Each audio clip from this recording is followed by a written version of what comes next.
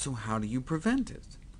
The first study in human history of thousands of vegans was just published in the Journal of the American Diabetes Association. Thousands of U.S. vegans studied for the first time ever.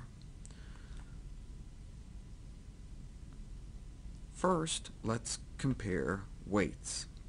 A BMI over 30 is considered obese, between 25 and 30 overweight, and they used to call under 25 normal weight, but it's no longer the norm. The average BMI in this country is now 28.8. The first question is, where do flexitarians fall?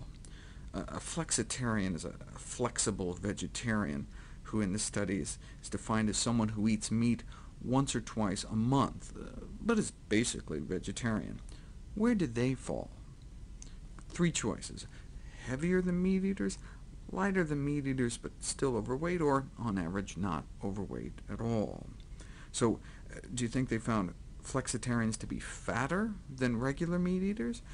Do you think those who only eat meat a few times a month are skinnier than meat eaters, but still, on average, overweight? Or do you think if we cut down our meat consumption that low, our weight should normalize? This is America. Even the flexitarians are overweight. But what about the full-time vegetarians, though? Same basic three choices. Do you think vegetarians turned out fatter than flexitarians? Do you think those who don't eat meat are skinnier than those who do, but still, on average, are overweight? Or do you think if you just cut out meat, you'll lose the excess fat? This is America. Even the vegetarians are overweight. But, surprisingly, they are a significantly healthier weight than those who eat meat even only a few times a month. You can see where the trend is going. What if those vegetarians cut out dairy and eggs? Would they lose enough weight to become the only dietary group in North America that's actually not overweight? You tell me. Do you think cutting out dairy and eggs makes you gain weight? Do you think it would make you lose, but not enough to make that cut off? Or do you think populations need to cut out meat and dairy and eggs to achieve a healthy weight? This is America, and that means only the vegans are, on average, a healthy weight.